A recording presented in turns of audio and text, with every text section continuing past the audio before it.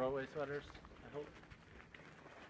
I'm going down Saved them for just such a thing.